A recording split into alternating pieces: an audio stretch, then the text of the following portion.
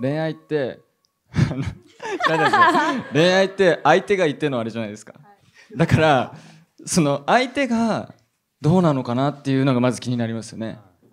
好きな人が。そう好きな人ががその友達と自分どっちが好きなんだろう。っはあはあはあ。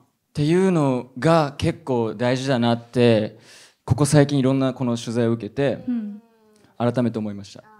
譲る譲るでしょうみたいなことを言いたいんですけどでも相手次第じゃないみたいな、なるほどそねのはい。その感覚はちょっと芽生えてきました。やっとはい。まとめ取材何百社もやってからのこのたどり着く答え。たどり着く答えでしょ。なるほど。うんこれを言えばよかったねそれねうん。ねえ新田さんはいかがですか？いやもう今の聞いてそうだなと思いました。うん相手があっての。平和が一番ですけどね。平和が一番。平和が一番。でもずっと譲ります譲りもますし相手がじゃあ親友を好きだとしましょう、はい。そしたら諦めるんですか？お二人は。諦め。いやいやもうどのぐらい自分。いやもうねこれは永遠のテーマなんじゃないですかねそこら辺は。はあ。え譲らないです。うん。別にいいかな好きだからって。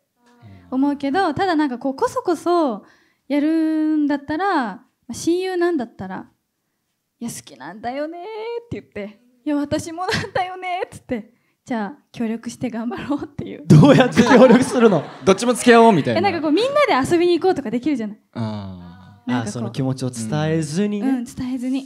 でもなんかそういう時でちょっと二人でいるとこ見たらちょっとあもやもやして。もやもやして。ねやだなそれ。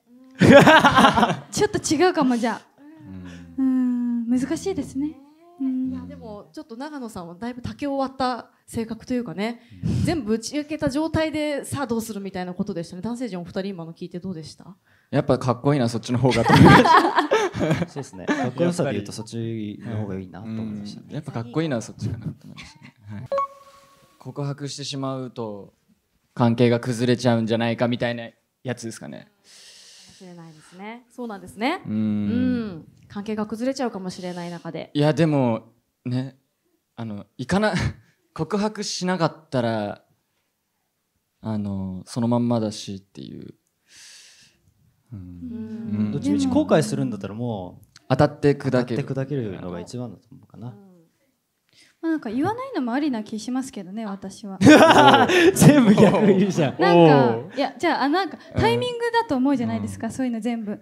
し本当に好きで付き合いたいって今思ってたらもう言ってる気がするんですよ片思いの時ってその追っかけてる自分がすごい楽しかったりするから別に今楽しかったら無理せずでいいと思うし。かっこいいな。かっこいいね。あのちゃん楽しん。とで、楽しむのが一番か。うん。今日なんか長野さんが姉さんに見えてきましたそうですねね本当。にねえ。しっかりしてる。かっこいい